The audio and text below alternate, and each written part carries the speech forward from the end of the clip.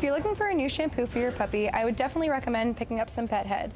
It restores elasticity and soothes all kinds of skin. And if you're looking for a scent that'll last a long time, Pet Head is definitely right for you.